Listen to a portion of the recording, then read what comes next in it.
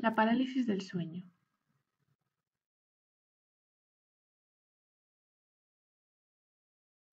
¿Qué es? Es un trastorno del sueño en el que la persona es incapaz de realizar cualquier movimiento voluntario. Esto significa que, por un breve periodo de tiempo, alguien que experimenta parálisis del sueño pasa por un estado de conciencia entre el sueño y la vigilia, y solo puede percibir lo que ocurre a su alrededor en el lugar donde se ha puesto a descansar, pero no puede ni moverse ni pedir ayuda. Los síntomas. Uno de los síntomas más frecuentes son las alucinaciones hipnagógicas, alucinaciones auditivas, visuales y táctiles. En realidad son pseudoalucinaciones, pues la persona que las padece sabe que lo que siente, ve o escucha no es real. Algunas alucinaciones son el factor intruso, es cuando sientes una presencia cercana a ti, un intruso o una persona extraña que te causa temor. El factor incubus es la sensación de que alguien te ha tocado o presiona alguna parte de tu cuerpo. Puedes sentir también dificultad para respirar. Y por último, la experiencia de movimiento ilusorio, donde parece que te mueves, caes, vuelas, flotas o tienes experiencias extracorpóreas. Otro de los síntomas importantes es la sensación de parálisis. La persona que se encuentra bajo esta parálisis está cognitivamente despierta, pero experimenta una sensación de paralización de prácticamente toda la musculatura voluntaria, excepto los ojos y el diafragma respiratorio. También es característica la paralización de la laringe, lo cual imposibilita el habla de las personas mientras se produce este trastorno. Por supuesto, no afecta a la función vital como la respiración o el latido del corazón, ya que son movimientos involuntarios.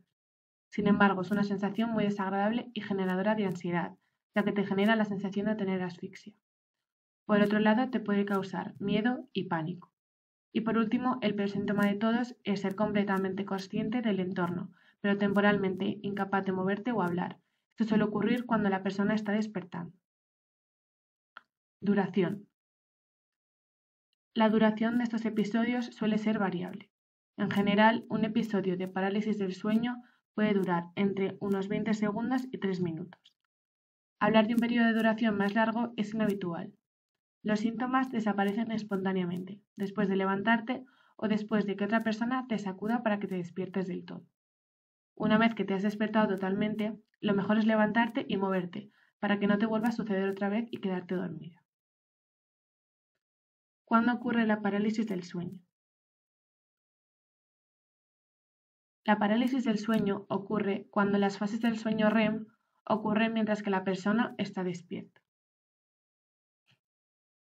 El REM es la etapa del sueño en el que el cerebro está activo y ocurren los sueños.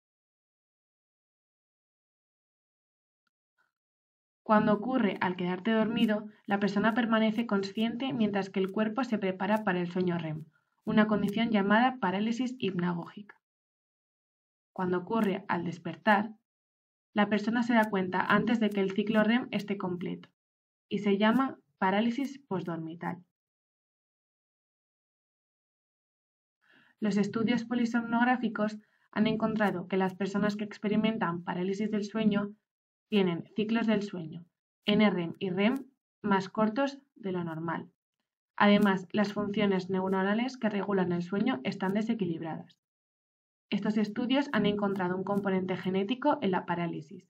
La fragmentación del sueño REM y las alucinaciones tienen un componente heredable en otras parasomnias, sobre todo del tipo REM. ¿Por qué se produce? Las causas por las que un individuo puede llegar a desarrollar esta parálisis son asociado a otra patología. Puede ser síntoma de otra enfermedad, la más frecuente la narcolepsia. Privación del sueño severo. Afecta a sujetos sanos que se encuentran sometidos a privación del sueño severa.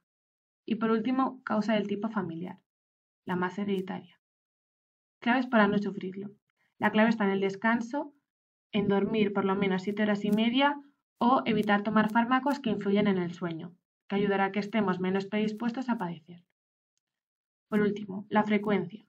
Algunas investigaciones señalan que un porcentaje muy alto de la población general sufre parálisis del sueño al menos una vez en sus vidas, entre un 60%.